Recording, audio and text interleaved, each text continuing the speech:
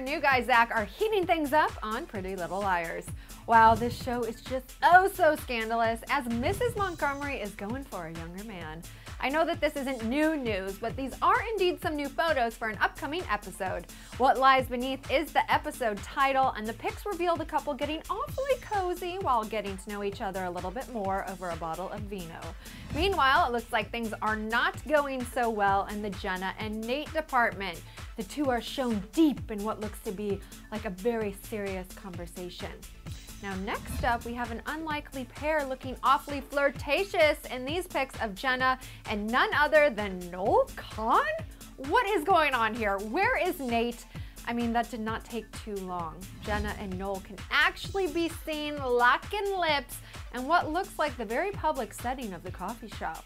We can't wait to see how everything pans out in this new episode, so check it out. It hits ABC Family on Tuesday, August 14th at 8 p.m. Eastern Pacific. Don't forget to subscribe to Clevver TV for all of your Pretty Little Liars updates. I'm your host, Dana Ward, hanging out in Hollywood. Thanks so much for tuning in.